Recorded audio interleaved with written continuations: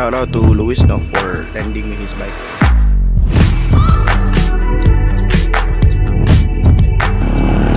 I'm going to discuss uh, some points no why you should consider buying um, Rusi Classic 250 if you are into classic bikes.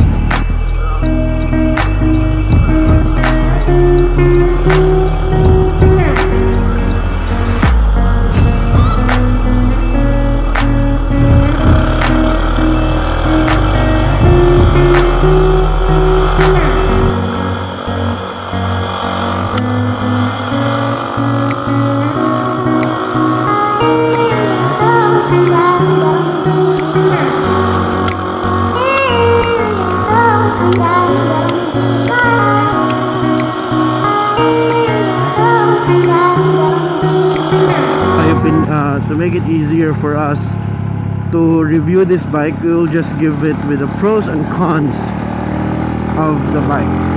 Um, yeah so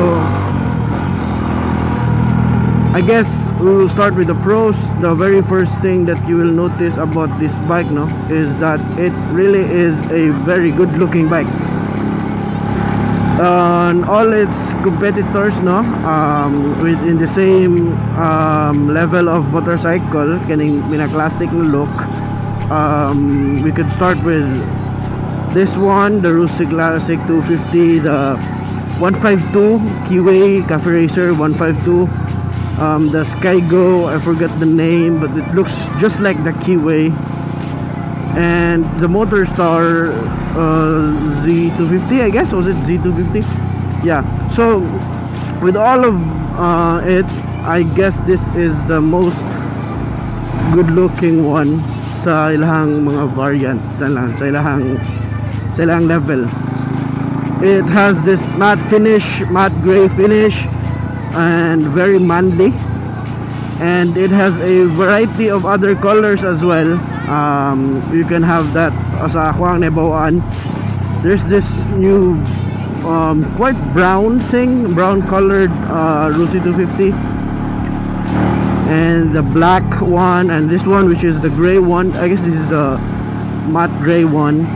Yeah so yeah that's it. And you should uh, another uh, the second uh, thing about this bike is that um, aside from its looks given that it is a 250cc bike it can deliver uh, much power. So kanang justifiable na siya na 250cc siya because it is powerful it's torquey. And and just to let you know this is a carb type motorcycle dili pa rin siya katong FI but we cannot test the I cannot test the fuel efficiency of this one because it does not have the one um, the one that it will only you know uh, compute for itself. But based on the owner uh, it's not that um, it's not that consuming man sa gas pod. So you know it pays for the price. If it's so beautiful then you gotta pay for it. And yeah that, that's the keyway one. Yeah. Another pro thing about this bike is in its um, mga other competitors no? It has two disc brakes in front.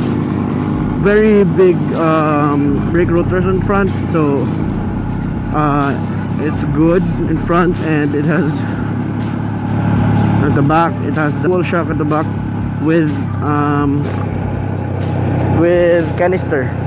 Yeah. And you will really notice no the the power of this bike is really there. So wala joy wala kay pating ang makanang kuan so another good thing about this bike is that it has very fat tires. Dual sport tires which is very very very very good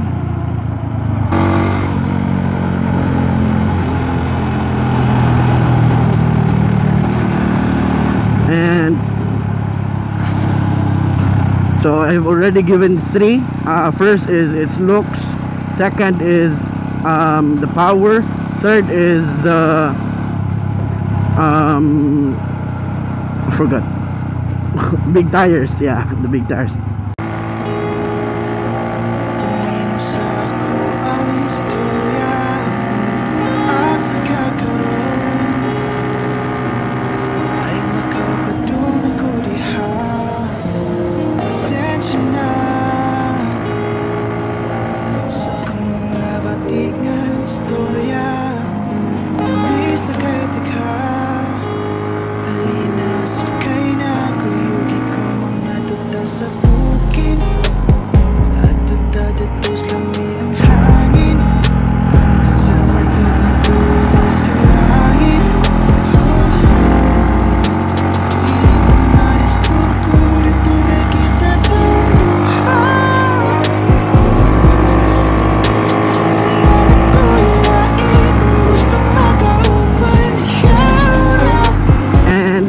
We will talk about the cons on this bike. It's not necessarily bad thing or not it's not it's something that I don't like. It's just something that I think they can improve. So and it's very little things no na yung manotice very little things so the very first thing no uh, ako ang on this bike is that its accelerator won't go back on its own right away. Now I will show you. Huh?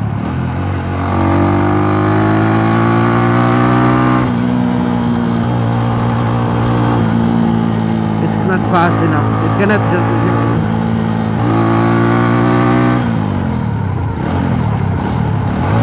Like that. And second thing is that its um, speedometer is quite delayed no?